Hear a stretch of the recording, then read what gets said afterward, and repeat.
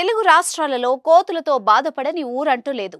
పల్లెలు పట్టణాలు అనే తేడా లేకుండా వీటి అల్లరికి అంతే లేకుండా పోయింది.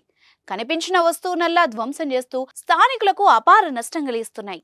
పిల్లలు వృద్ధులు వీధుల్లో తిరుగుతున్నప్పుడు వాళ్ళ చేతుల్లో ఉండే పళ్ళు తినుబండారం లాంటివి ఏ ఉన్నా దాడి చేసి లాక్కుంటున్నాయి. మనం ప్రతిఘటిస్తే గాయపరుస్తాయి. ఇక ఇళ్ళ ముందు పెరట్లలో జామ ఉసిరి లాంటి చెట్లను కోతుల భయానికి పెంచడమే లేదు.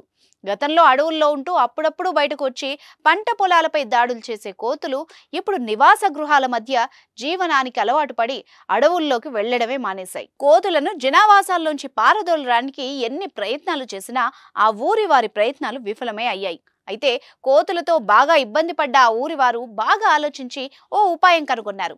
ఈ ఉపాయం ఫలించి కోతులు ఆ ప్రాంతం నుంచి పారిపోతున్నాయి. దీంతో వేరే ప్రాంతం వారు కూడా వారిని సలహాలు సూచనలు అడుగుతున్నారు.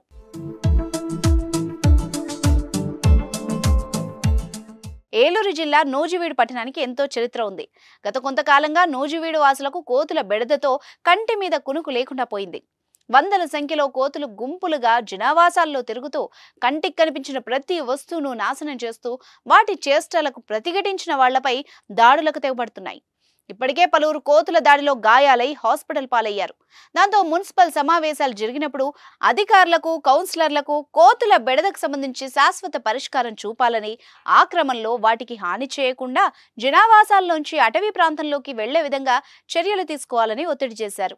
ఈ రకమైన ఫిర్యాదులు ఒత్తిడి ఎక్కువగా రావడంతో బాగా ఆలోచించిన అధికారులు కోతులకు ఏ రకమైన హాని కలగకుండా అడవులకు పంపించే ఉపాయం చేశారు. ఇద్దరు వ్యక్తులకు ఎలుగుబంటి వేషధారణ వేసి కోతులు ఎక్కువగా సంచరించే జనావాస ప్రాంతాల్లో వాళ్ళను ఉంచారు. కోతులు ఎలుగుబంటి వేషధారణలో ఉన్న వ్యక్తులను చూసి వాటికి ప్రమాదం కలుగుతుందన్న భయంతో అక్కడి నుంచి పరుగులు తీశాయి. అంతేగాక ఆ ప్రాంతం దరిదాపుల్లోకి సైతం వచ్చేందుకు సాహసం చేయడం లేదు.